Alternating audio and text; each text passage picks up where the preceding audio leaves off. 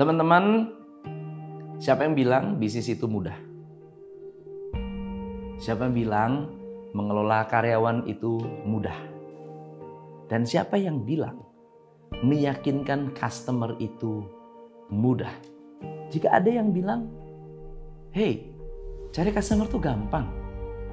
Kelola karyawan gampang.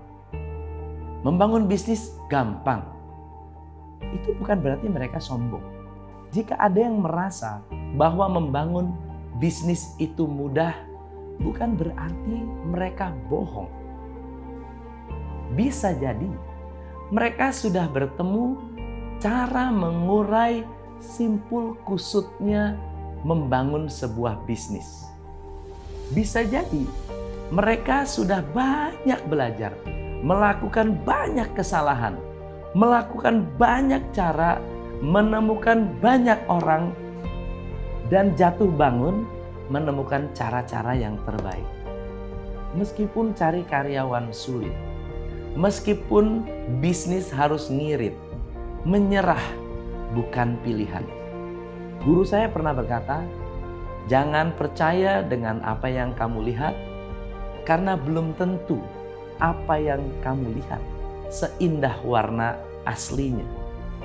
Jangan percaya karena Anda melihat orang berhasil, Anda bisa berhasil dengan mudah. Berapa banyak orang yang tidak bercerita tentang jerih payah mereka, tentang sulitnya perjuangan mereka, tentang berapa besar pengorbanan mereka. Kamu harus percaya pada apa yang belum kamu lihat, agar kamu bisa melakukan apa yang belum pernah kamu lakukan. Kamu harus melakukan apa yang orang tidak mau lakukan agar kamu bisa mendapat apa yang orang lain impi-impikan. Apakah karena kamu melihat Jack Ma, Bill Gates, Steve Jobs, Elon Musk, atau Bob Sadino sukses? Lalu ada orang terkaya di Indonesia sukses. Artinya mereka tidak pernah mengalami kesulitan. Apakah orang sekelas Jack Ma mudah cari karyawan? Sama susahnya. Apakah perusahaan raksasa seperti McDonald mudah mendapat karyawan bagus? Sama beratnya. Bisnis kecil, bisnis besar, sulitnya sama. Perbedaannya, bisnis-bisnis besar, orang-orang besar memikirkan hal-hal besar, bukan membesarkan hal-hal kecil. Mereka mengatasi hal-hal kecil, bukan menjadikan masalah kecil sebuah alasan untuk tidak berhasil. Yang dibahas bukan kenapa saya susah cari karyawan, tapi bagaimana agar saya bisa menemukan karyawan yang bagus dengan cara yang lebih baik. Yang dibahas bukan bagaimana cara saya menemukan karyawan, tapi bagaimana saya menjadi leader yang disukai banyak orang sehingga banyak orang yang akan merekomendasikan bekerja di bawah saya. Mereka tidak membahas mengapa omset saya turun. Tapi mereka membahas bagaimana saya bisa melayani customer lebih baik lagi Bagaimana membuat customer ketagihan dengan pelayanan saya? Bagaimana customer bisa suka dengan apa yang saya jual?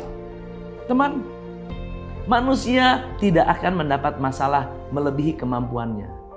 Tapi kalau kita menghadapi masalah yang sama, berulang-ulang, berkali-kali, silih berganti, tidak berubah, artinya kemampuan kita belum bertambah. Untuk mengubah masalah kita, kemampuan kita harus berubah. Jangan berharap masalah kita berkurang. Berdoalah agar Tuhan menguatkan kita. Jika Tuhan ada bersama kita, tidak ada masalah yang terlalu besar. Jangan berharap hidup menjadi lebih mudah, tapi berharaplah kita menjadi lebih baik. Karena ketika kita menjadi orang yang lebih baik, hidup menjadi lebih mudah.